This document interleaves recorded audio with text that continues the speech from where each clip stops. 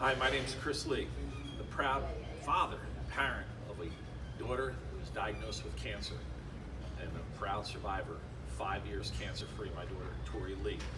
Most people are unaware September is Childhood Cancer Awareness Month.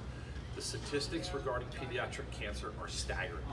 43 children per day diagnosed with some type of cancer and roughly 15,700 yearly. With only 4% of government cancer research spent on pediatric cancer, this disease continues to be the leading cause of death by disease amongst children. Crunch Fitness is committed to raising awareness and funds for research.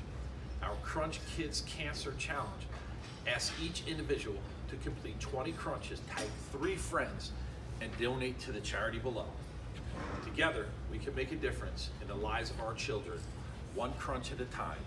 I nominate Nick Herman, John Pittman, and my daughter, a cancer survivor of five years, Tori Lee.